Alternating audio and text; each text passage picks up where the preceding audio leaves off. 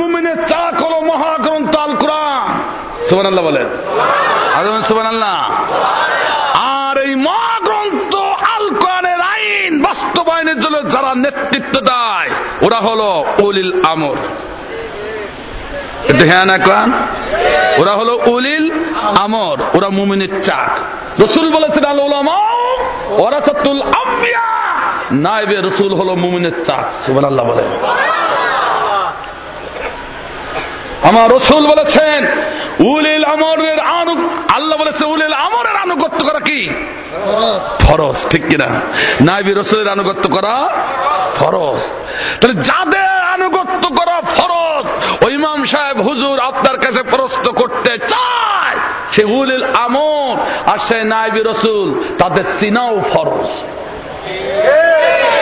যাদের আনুগত্য করা ফরজ তাদের সিনাও পরশ, কোন বই পড়া, ফতোয়া দিলে চলবে না, মাইক্রো ফতোয়া দেওয়া লাগবে এখন। ঘরে এখন আগুন লেগেছে আর তুমি আলু পড়া খেয়ে বেড়াবা তা চলবে না। ঠিক না আমার ভাইজান, তাহলে সে উলিল আমর কারা? সে নাইবি রসুল কারা? সিনা লাগবে কিনা? আর লাগবে কিনা? যাদের আনুগত্য করা ফরজ, তাদের দখল ফরজ। আগে তাদের চিনতে হবে, ঠিক কিনা?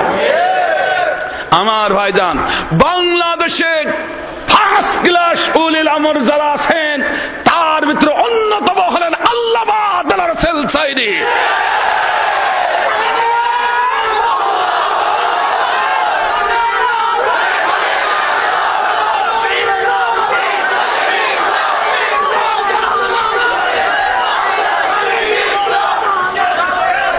আমার ভাইরা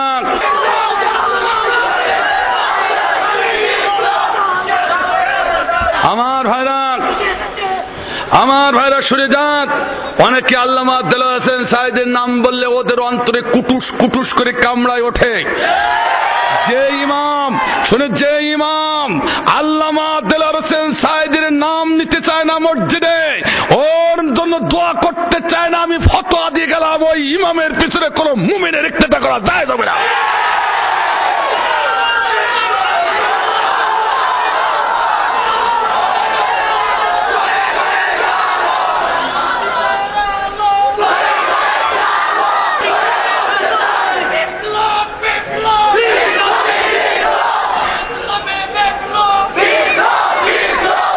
আমার ভাইরা রাগ করলে চলবে না সরে যান। বলব নাকি? হাটে যখন হাড়ি ভাঙ্গা শুরু করেছি, ভালো করে ভেঙে দিয়ে যাব।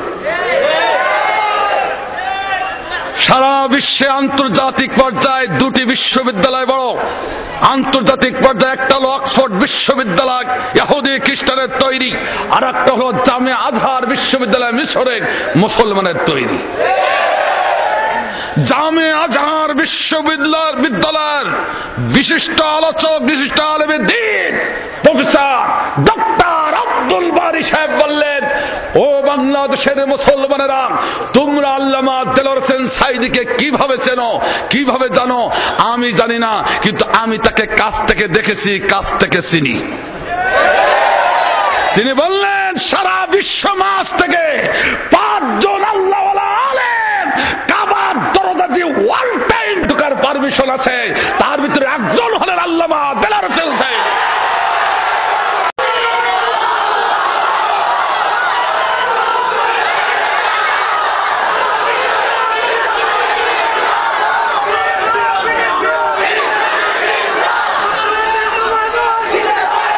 শুনতে হবে, কথা কথা শুনতে হবে, শুনুন, কথা, অনেক কথা। যেহেতু আমার ভিতরে অনেক কথা বড় কষ্টে আজকে বলতে হচ্ছে। আপনাদেরও কথা বলব আজকে। আমি চট্টগ্রামে এসে যা দেখেছি তা না বলি ছাড় মানে না। আমার ভাইরা, সারা বাংলাদেশে ঘুরে যা দেখছি এবং আজকেও যা দেখছি, দেখলাম, সব বলব। রাগ করবেন না তো ভাই? তবে শুনে রাখেন, একটা কথা শুনে যান। রাতের গভীরতা যত বাড়বে, বুঝতে হবে পরের দিনের সূর্যের আলোর মুখ তত তাড়াতাড়ি দেখা যাবে। এদেশের বিশ্ব বরণ্য আলেমদের উপরে নির্যাতন, টার্চারি যত চলবে বেশি, তত ইসলামে বিজয় তাড়াতাড়ি দেখা যাবে।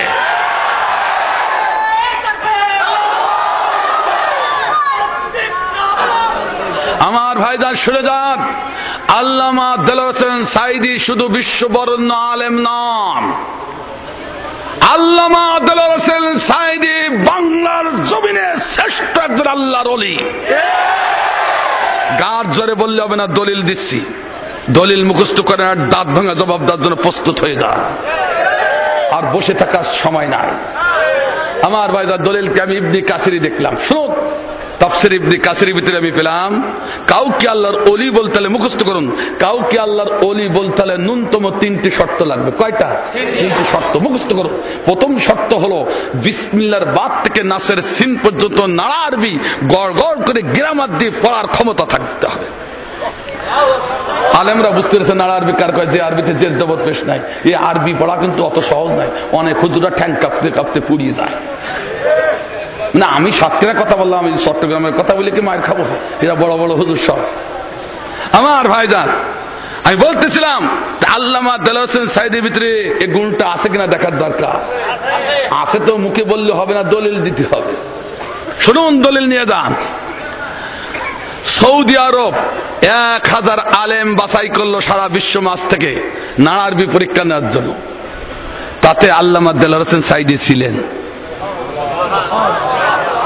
এক হাজার মার্কসের পরীক্ষা হলো না আরবি। পরীক্ষার পরে খাতা দেখা হয়ে গেল রেজাল্ট আউট হয়ে গেল। রেজাল্ট আউটে পরে দেখা গেল একজন আলেম নাম্বারে হিমালয় পর্বতের চূড়ায়, আর সব আলেমগুলো হিমালয় পর্বতের পাদদেশে। যে আলেমটা এক হাজার মার্চের ভিতরে নয় শত সাড়ে নিরানব্বই পেয়ে যে আলেমটি ফার্স্ট হয়েছিলেন, সে আলেমটি আর কেউ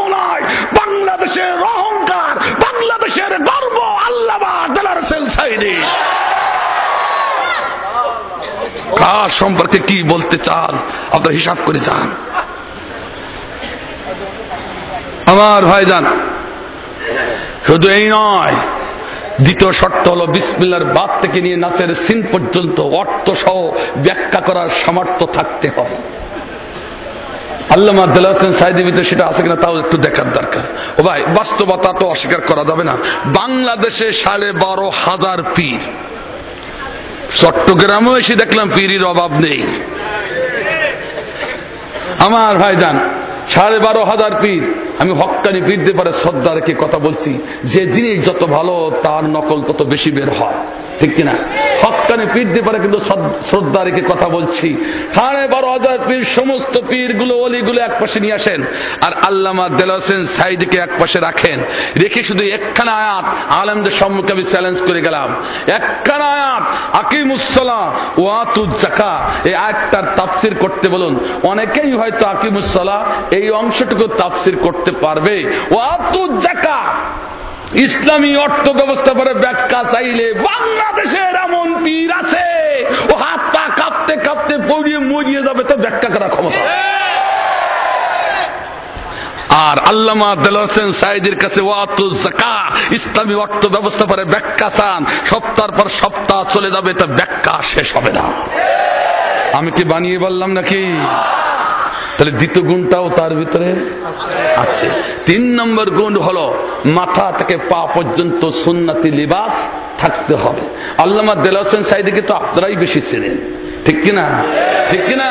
কাজে আমি মনে করি সুন্নাতি লিবাসে তার কোনো ঘাটতি নাই।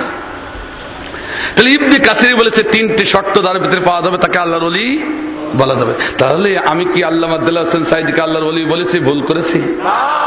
এখন অনেকে প্রশ্ন শ্রেষ্ঠ অলি কেন বললে? কারণ এই দেশে দেওয়ানবাগি আছে। দেওয়ানবাগি উনি দেখলেন যে সমস্ত পিড়িরা যখন প্রতিযোগিতা করছে, তা আমার ওর উপরে উঠতে হবে। তিনি ওনার বইতে লিখলেন কি, আমি আল্লাহর সাথে ছত্রিশ বার সহবাস করেছি। নাউজবিল্লাহ। আর বলে, নাউজবিল্লাহ। তাহলে আল্লাহ হলো মেয়ে লোক আর ও হলো পুরুষ লোক। নাউজবিল্লাহ বলে